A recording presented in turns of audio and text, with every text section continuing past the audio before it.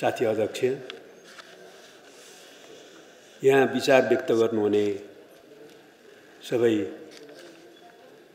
विशिष्ट अतिथिजीहरू विद्वान मित्रहरू र उपस्थित सबै साथीहरू यहाँहरू सबैलाई सादर अभिवादन छ। यस कार्यक्रमको यो अन्तर्क्रिया कार्यक्रमको आयोजनाका निम्ति म बुद्धिजीवी तथा पेसागत सङ्गठनका साथीहरूलाई धन्यवाद दिन चाहन्छु। र यहाँ आएर आफ्नो महत्त्वपूर्ण विचारहरू व्यक्त गर्नुहुने सबै अतिथि वक्ताहरूलाई विद्वान मित्रहरूलाई पनि म धन्यवाद दिन चाहन्छु।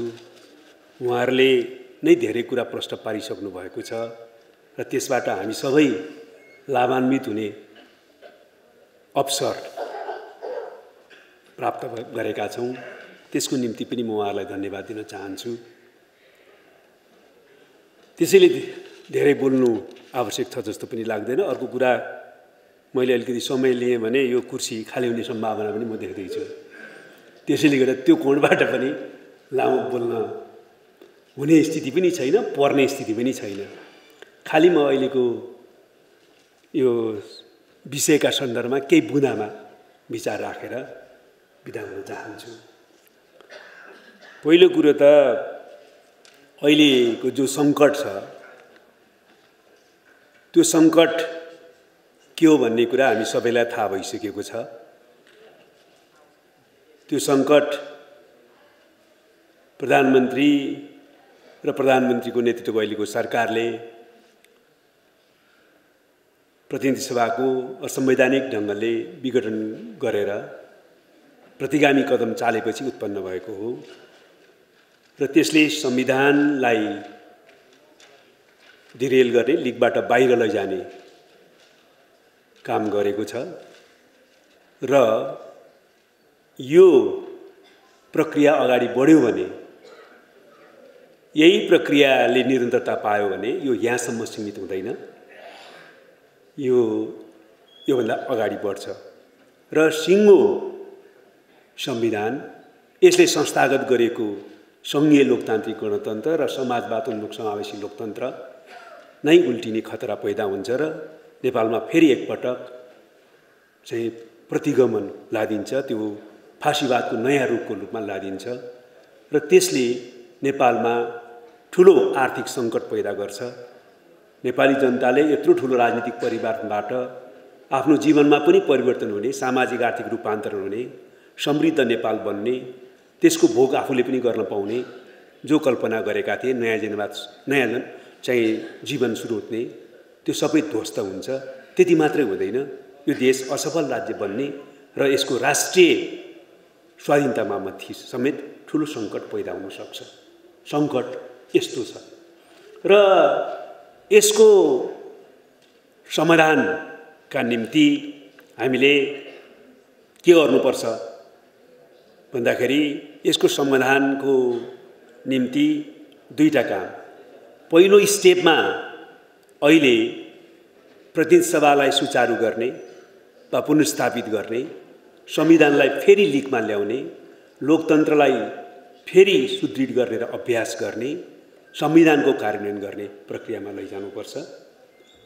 पहिलो स्टेप त्यो हो निकासको र दोस्रो स्टेप चाहिँ हामीले यो संविधान र लोकतन्त्रको रक्षा गरेर यसलाई माध्यम बनाउँदै सामाजिक आर्थिक रूपान्तरण गर्नुपर्छ सामाजिक न्यायसहितको समृद्ध मुलुक बनाउनुपर्छ र संविधानले निश्चित गरे अनुसार समाजवादको आधार तयार पारेर समाजवादको दिशातिर अगाडि बढ्नुपर्छ। यो बाहेक अर्को कुनै निकास हाम्रो अगाडि छैन। यो दुईवटा हो। पहिलो लक्ष्य हो दोस्रो उद्देश्य हो। त्यही आधारमा हामी अहिले सङ्घर्ष पनि गरिराखेका छौँ। यो लक्ष्य र उद्देश्यलाई केन्द्रबिन्दुमा राखेर निकास यही हो। यसको बाटो के हो त? बाटो दुईवटा बाटो छ। एउटा अहिले जनता सचेत भएर सङ्गठित भएर यो असंवैधानिक अलोकतान्त्रिक निरङ्कुश र प्रतिगामी कदमको विरुद्ध सडकमा उत्रिएको छ। सरकार र सरकारी गुट बाहेक सिङ्गो देश आन्दोलनमय भएको छ एकताबद्ध रूपमा अगाडि बढिराखेको छ। त्यसमा केही दुविधाग्रस्त पक्षहरू पनि छन् तर पनि अन्तत यो असंवैधानिक अलोकतान्त्रिक कदमको विरुद्धमा सरकारी कुट बाहेक सबै एक ठाउँमा छन् र सडकमा छन्। र अहिले यो बेला जनताले खबरदारी गरिरहेको बेला हो। हामीले सात दशकभन्दा बढी बलिदानीपूर्ण सङ्घर्ष गरेर हजारौँको शहादत पश्चात प्राप्त गरेको ऐतिहासिक राजनीतिक परिवर्तनलाई कुल्चन पाइँदैन। त्यसको पहिलो कदमको रूपमा अहिले प्रतिनिधि सभा विघटन गरिएको छ। यसलाई छुट दिइयो भने यसलाई निरन्तरता पाउने स्थिति बन्यो भने समग्र परिवर्तन उल्टिने खतराको दिशातिर देश जान्छ र त्यसले देशलाई ठुलो सङ्कटको दिशामा धकेल्छ। भनेर जनता भनिराख्यो त्यसो त्यसकारण यसलाई निरन्तर दिनु यसलाई असफल पार्नुपर्छ। भनिराखेका छन्। जनताको खबरदारी हो। र अर्को चाहिँ यो मुद्दा अदालतमा पनि छ। त्यस कारण यसको निकासको जो मैले भने निकासको माध्यम चाहिँ अहिले जनताको व्यापक खब सङ्गठित खबरदारी र संविधानले व्यवस्था गरेको संविधानको एउटा अङ्गको रूपमा भएको अदालत हो। यसको आजको बाटो अदालतको निर्णय। तर यो भएन भने बाटो के जान्छ? भन्दाखेरि जनअदालतको बाटो जान्छ। त्यसै अहिले जनखबरदारी र संवैधानिक रूपमा व्यवस्था गरिएको अदालतको बाटोबाट निकासको अवस्थामा हामी छौँ त्यसको अपेक्षाको स्थितिमा हामी छौँ। भएन भने जनअदालतले फैसला गर्ने स्थिति आउँछ तर हामी के कुरामा विश्वस्त छौँ भने नेपाली जनताले दसौँ हजारको बलिदानबाट प्राप्त गरेको ऐतिहासिक राजनीतिक परिवर्तन त्यसलाई संस्थागत गरेको संविधानलाई कार्यान्वयनको स्थितिमा लिएर आउनका निम्ति सक्रिय बनाउनको निम्ति फेरि एकचोटि जनताले आफै फैसला गर्ने जनअदालत भनेको जनताले फेरि आफै फैसला गर्ने हो। गर्ने स्थितिमा चाहिँ पुग्नुपर्ने दिन आउँदैन र हाम्रो खबरदारी सँगसँगै हाम्रो सङ्गठित एउटा जुन जनमत छ त्यो सँगसँगै अदालतले नै यो बारेमा टुङ्गो लगाउने स्थिति आउँछ भन्ने कुरा हामी अहिले विश्वास गर्न चाहन्छौँ। त्यसो भएन भने जनअदालतको बाटोबाट जानुपर्ने स्थिति आउँछ। त्यो स्थिति नआओस् भन्ने चाहना छ र आउँदैन भन्ने विश्वास पनि छ। अर्को यति कुरा भनिसकेपछि म खालि के मात्रै भनेर बिदा हुन चाहन्छु भने हामीले यो सङ्कटको निकासको रूपमा पहिलो स्टेप भन्यौँ प्रतिनिधि सभालाई पुनः सुचारू गर्ने संविधानलाई फेरि ट्र्याकमा ल्याउने लोकतन्त्रलाई फेरि अभ्यासको दिशातिर अगाडि बढाउने। तर यो पहिलो स्टेप मात्रै निकासको अर्को स्टेप र मूल स्टेपमा जानको निम्ति हामीले ठुलो आत्मसमीक्षा जरुरी छ। साउल सर्चिङ भन्छ ठुलो आत्मसमीक्षा जरुरी छ। त्यो आत्मसमीक्षा भित्रबाट हामीले नयाँ ढङ्गले काम गर्न प्रतिबद्धतासहित अगाडि बढ्न जरुरी छ। हामी अहिले त्यही सेल्फ साउल सर्चिङको प्रक्रियाबाट पनि गुजिरहेका छौँ सङ्घर्ष गर्दै गर्दै। सङ्घर्षबाट यो फर्स्ट स्टेपमा हामी सफल बनाउँछौँ। तर त्यसलाई उद्देश्य पुरा गर्ने दिशातिर अगाडि बढाउन ठुलो आत्मसमीक्षासहित आत्ममन्थनसहित प्रतिबद्धताहरूसहित हामी अगाडि बढ्न जरुरी छ भनेर तयारी गर्नुपर्छ भन्न ठान्छौँ यो हाम्रो पार्टीको निम्ति मात्र होइन यो ठुलो बलिदानीपूर्ण सङ्घर्ष गर्न साथ साथै अगाडि बढ्ने सबै राजनीतिक पार्टीहरूको लागि अहिलेको मुख्य सरोकारको विषय पनि हो। त्यस क्रममा एउटा विषयमा सबभन्दा पहिले समीक्षा गर्न जरुरी छ। नेपालमा हामीले जुन राजनीतिक परिवर्तन गर्छौँ ठुलो सङ्घर्षबाट राजनीतिक परिवर्तन गर्छौँ लोकतान्त्रिक व्यवस्थाको निम्ति लड्यौँ त्यो लोकतन्त्र लिएर आयौँ त्यो लोकतन्त्र पनि नयाँ ढङ्गको लोकतन्त्र ल्यायौँ जो परम्परागत संसदीय गणतन्त्र पनि होइन तर कम्युनिस्टहरूले विश्वमा पहिल्यै स्थापित गरेको यस्तो नयाँ जनवाद वा जनताको जनवादको त्यही ढाँचा पनि होइन। यो सङ्घीय लोकतान्त्रिक गणतन्त्रात्मक राजनीतिक प्रणाली हो यसको लोकतन्त्रको सामाजिक सार्थत्वको हिसाबले हाम्रो संविधानले यसलाई समाजवाद उन्मुख समावेशी लोकतन्त्र भनेको छ।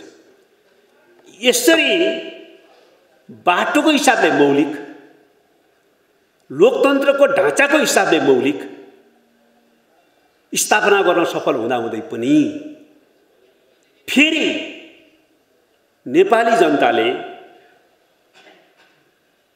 प्रतिगमन विरुद्ध लोकतन्त्रको निम्ति सङ्घर्ष गर्नुपर्ने र यत्रो लोकतान्त्रिक लडाइँमा लागेका पार्टी र नेताहरू भित्रैबाट प्रतिगमनका पात्रहरू जन्मने र सामाजिक आर्थिक रूपान्तरण र समृद्ध नेपाल बनाउने सपना तुसारो तुसारापात हुने स्थिति कसरी आयो?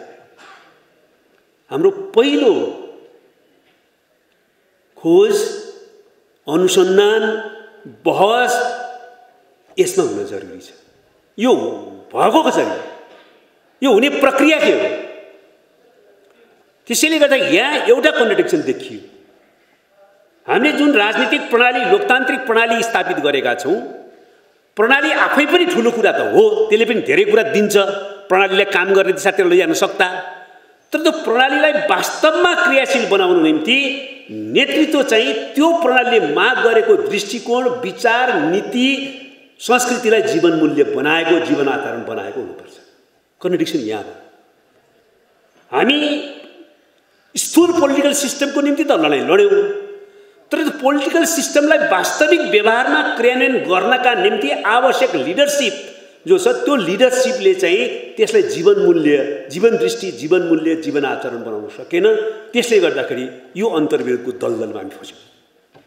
समस्या यहाँनिर पैदा भइरहेको दोस्रो कुरा हामीले पोलिटिकल सत्ताको निम्ति सङ्घर्ष गर्दा परिवर्तनको निम्ति सङ्घर्ष गर्दा दोस्रो ओरिएन्टेसनमा हामी सायद मिस गरिराखेका छौँ।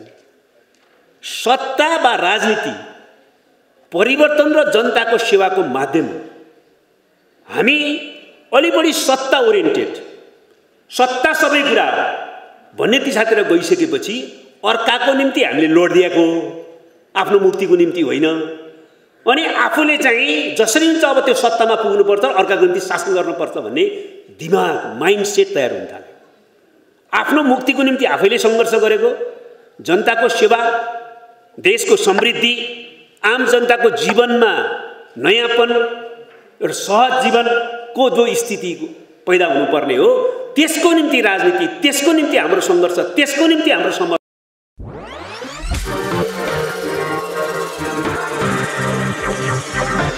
Bye.